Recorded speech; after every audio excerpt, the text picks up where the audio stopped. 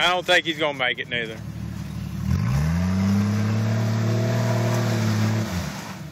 If it was dry, I might be able to.